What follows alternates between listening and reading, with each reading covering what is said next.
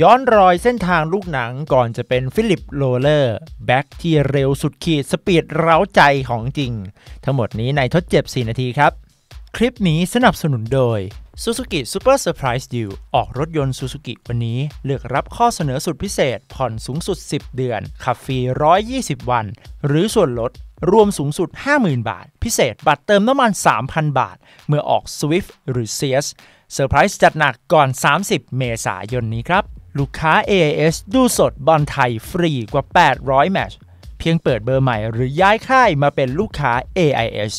ทดเจ็บ 4 นาทีวันนี้นะครับ เราจะพาทุกคนไปย้อนชมเส้นทางของฟิลิปโรเลอร์กันหน่อยครับ นักเตะที่ไม่มีใครเด่นไปกว่าเขาแล้วฮะณเวลานี้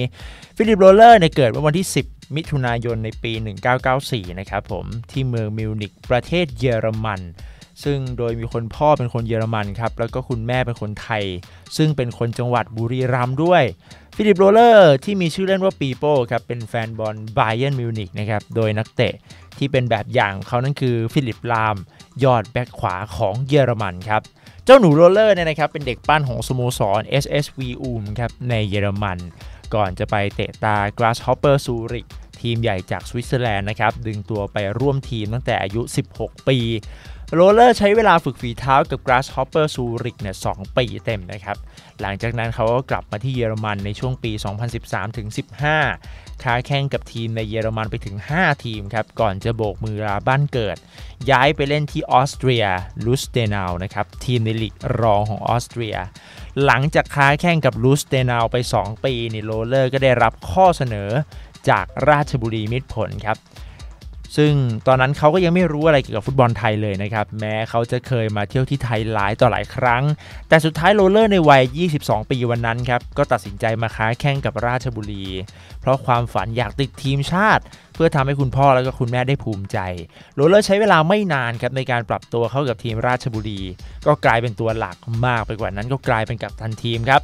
ก่อนจะปิดฉากการค้าแข้ง 4 ปีเต็มกับราชบุรีครับ ด้วยผลงานลงเล่นในลีกไปถึง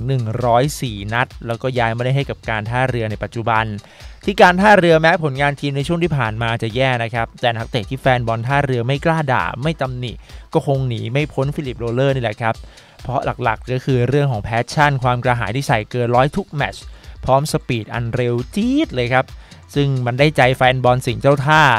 ส่วนใน part ชีวิตส่วนตัวในครอบครัวของโรเลอร์นะครับรวมทั้งภรรยาแล้วก็ลูกอีก 3 คนเนี่ยใช้ชีวิตกันที่เยอรมันนะครับ เจ้าตัวเป็นคนที่สนใจแค่ครอบครัวฟุตบอลจริงๆครับในเวลาพักเมื่อมีวันหยุดโรเลอร์ก็มักจะบินไปใช้เวลาครอบครัว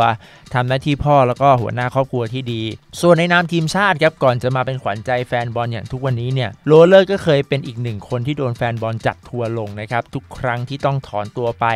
ไม่ต่างจากคู่หูอย่างเควินดีรมรัมย์ที่ถึงแม้ตลอดเวลาที่รับใช้ชาติทั้งคู่ก็จะบอกเสมอว่าภูมิใจนะครับ แต่ถึงจะมีเหตุจำเป็นในการถอนตัว ทั้งตัวอาการบาดเจ็บ หรือต้องกลับไปเยี่ยมคนในครอบครัวที่บ้านเกิดเนี่ย แต่แฟนบอลบางกลุ่มก็ไม่เคยเข้าใจพวกเขาสักที หลายต่อหลายครั้งก็พยายามที่จะเข้าใจกันนะครับ นอกจากนี้ก็ยังเคยมีดราม่าที่ร้านอาหารเยอรมันครับ เมื่อมีข่าวออกมาแฟนบอลก็ใส่ทัวร์เต็มที่เลยครับ โดยไม่รอคำพูดจากฝั่งโรเลอร์แม้แต่นิดเดียว และในศึกของซูซูกิครับรอบล่าสุดโรเลอร์ต้องพลาดไปใน 2 เกมแรก เพราะบินไปเยี่ยมลูกที่ป่วยด้วย ก็ยังไม่วายโดนแฟนบอล ถล่มด่าว่าอยากเล่นทีมชาติจริงไหมโอ้โหผมแล้วหัวจะปวดแทนโรเลอร์ครับ ครั้งหนึ่งโรเลอร์ก็เคยบอกไว้ตอนติดทีมชาติครั้งแรกนะครับ ว่าตอนที่คุยกับเควิน เควินบอกว่าทีมชาติไทยเป็นทีมที่ดีครับบรรยากาศในทีมดีมาก รวมถึงเพื่อนร่วมทีมด้วย จนผมเองก็รู้สึกอยากเล่น หลังจากรู้ว่าตัวเองติดทีมชาติก็ตื่นเต้นมากครับรีบไปบอกพ่อแม่ พวกท่านก็ดีใจและภูมิใจมากฟังมาขนาดนี้ก็น่าจะทำให้แฟนบอลบางกลุ่มที่ไม่ชอบเขาเนี่ย น่าจะรู้แล้วว่าทั้งคู่อยากเล่นทีมชาติขนาดไหนนะครับสุดท้ายก่อนจากกันไปครับเชื่อว่าหลังจากนี้ในวัย 27 ย่าง 28 ของฟิลิปโรเลอร์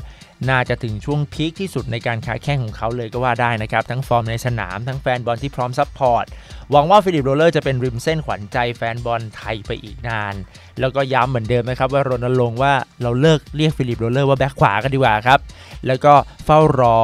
พื้นที่แล้วก็ตัวหลัก ของทีมชาติในชื่อของฟิลิปโรเลอร์นะครับหวังว่าจะโชคดีในเส้นทางการเป็นนักฟุตบอลหลังจากนี้ครับ แล้วเจอกับทดเจ็บ 4 นาที ทุกเช้าวันจันทร์ถึงศุกร์แบบนี้ พบกันใหม่สวัสดีครับ